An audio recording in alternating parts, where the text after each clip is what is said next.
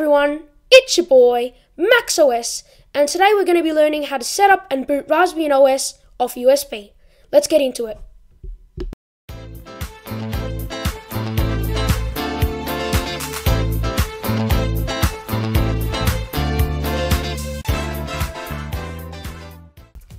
Yeah, so this is going to be a tutorial episode, and as I said before, we're going to learn how to set up and boot Raspbian OS from a USB. So um, let's get straight into it. But before we do, I've got a few notes. So first of all, uh, this is a Windows tutorial only. Sorry, Mac users. Second of all, I don't take any responsibility from anything bad that happens from this uh, uh, tutorial. And third of all, I use a 16 gig USB for my Raspbian, and that works perfectly. So I recommend 16 and above. But if you haven't got a 16 gig USB, then 8 gigabytes should work fine. But I wouldn't go anything less than 8 because uh, there needs to be space for the actual operating system and there needs to also be space for something called persistent data. Now, if you don't know what persistent data is, it's basically like once you boot the uh, uh, operating system, basically anything you do in that session, so uh, download things from the internet, make folders, uh, write a text file, uh, change settings, anything that you do in that session will save to the USB, and then the next time you boot the OS from the USB, uh, everything will be restored. So it's kind of like a hard drive, a mini hard drive. Anyway, let's get into it. Alright everyone, welcome to stage 1 of the tutorial. In this stage we're going to be uh, downloading the Raspbian disk image file or ISO file from the internet and we're also going to be downloading some other software that will help us. So first of all, let's download the uh, Raspbian uh, ISO. So we have to go to the Raspberry Pi website and once we're there, we have to click on the downloads link, which is on the screen now. Now, when you click on the downloads button, you'll come to a page that looks like this. Now, there's a few options here, but the one we're looking at is the Raspbian Desktop Edition. Now, the reason why we have to choose this one is because this is the version that works on uh, computers. The other options will work only on the Raspberry Pi machine. Anyway, let's download the Raspberry Raspbian desktop edition and let's save it somewhere that we can remember. So once it's done, we're ready for stage two. But for stage two, we're also going to need another piece of software called Etcher. Now Etcher is a software that I'll talk about later, but for now we're just going to download it. So let's go to the Etcher page and download it. Alright, so once that's all downloaded, we'll be ready for stage two. Alright everyone, so welcome to stage two of the tutorial. In this stage, we're going to learn how to burn the ISO of Raspbian onto USB. So if you don't know, burning is just an alternative method of putting something on a USB. So it's kind of like cutting and pasting, but if you're handling ISOs or OSs and you're looking to put one on a USB, then burning is the way to go. Cutting and pasting won't work. So now let's get into it. So first of all, you want to open Etcher. Now Etcher is a software that will help us burn uh, anything onto a USB. So we're going to open Etcher and we're going to press uh, the first option which is select image. Now with this uh, you need to find the ISO that you want to burn. So in this case it's Raspbian. So you want to select that one and then you want to go to the next step and select the uh, drive that you want to burn it to. So once you select that, we'll be ready to flash. Now once you press flash, it might take 5 to 10 minutes to flash, um, to burn on there. But once it's done, we'll be ready for stage 3. Alright guys, so welcome to stage 3 of this tutorial. In this stage we're going to have to access the BIOS. Now the BIOS, or the basic input output system, is like a secret hidden settings menu for your computer where you can change heaps of settings and some of those settings are essential uh, to booting a OS on USB. So we're going to have to go into those settings and unfortunately I can't screen record for you guys so I'm going to have to switch to my trusty camera. But anyway, let's get straight into it. Alright, well, alright everyone, welcome to stage uh, 3. In this stage we're going to learn how to use the BIOS to change um, some settings and then the settings will enable us to use Raspbian OS.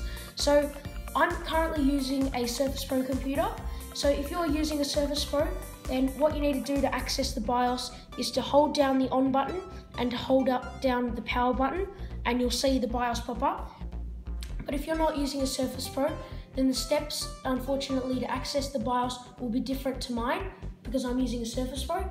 So if you are not using a Surface Pro, I recommend just checking um, forums and on the internet to find how to access the BIOS for your machine. and then we can get on stage three. So once again, if you're um, uh, using Surface Pro, hold down the on button and the, and the volume up button.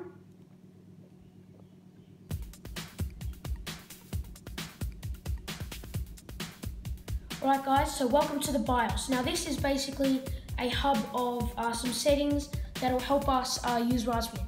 So first of all, if you're if you're not using a uh, if you're not using a Surface Pro, then it might look a bit different to mine. Might look a bit different, and also mine is called the UEFI, but it just means BIOS as well. So um, if you're once again, if you're not using the Surface Pro, it'll look different, but um, it should follow the same principle. It should have the same settings. So just uh, try and follow along and see if you can match the settings with the ones that are on your computer. So first of all, we're going to go to boot configuration. Now this over here is configure boot device order. Now this gives us a list of all the devices that boot up when you switch on your computer. Now, if you've put a Raspbian on a USB, then to access Raspbian uh, from booting, we need to put USB storage at the top. So as you can see, mine's already up there. But uh, if you were to use, if you were to um, use Raspbian, then you would have to probably drag up uh, USB storage to the top and the reason why it has to be at the top is because if you've got Raspbian on a USB, it'll boot the USB and therefore booting Raspbian before it can run Windows or um, yeah, Windows. So that's why USB has to be at the top. So I uh, hope you guys all got that. Now let's go to security. So over here, we need to uh, change the, the secure boot settings. Now, if you don't know, secure boot is a way of, uh, is Windows way of uh, protecting against viruses or malicious software that enter through the USB port. So basically, it's like a defense system, like castle. But um, so if you want to stay safe through the USB port, then I recommend it being enabled. But unfortunately, for Raspbian, it needs to be disabled. So um, if you want to use Raspbian, then you'll have to change the configuration to disabled.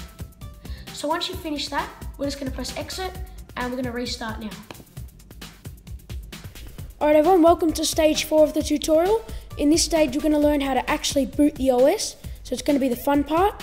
Anyway, let's get straight into it.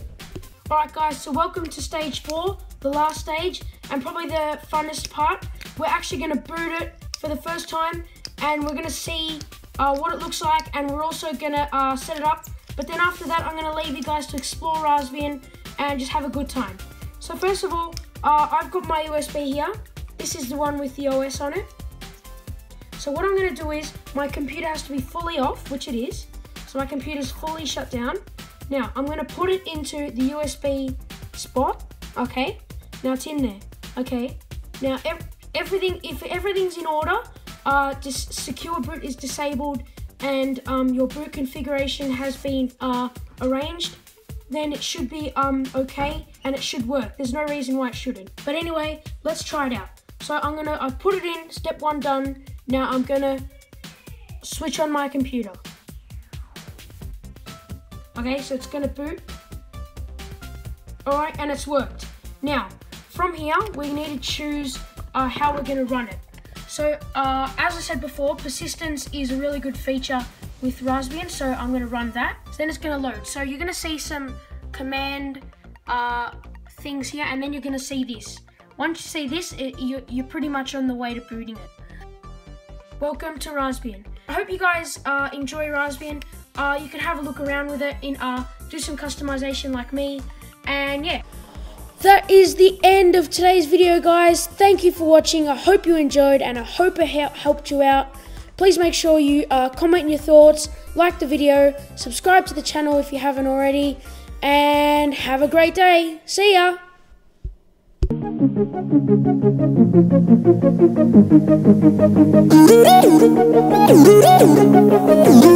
you.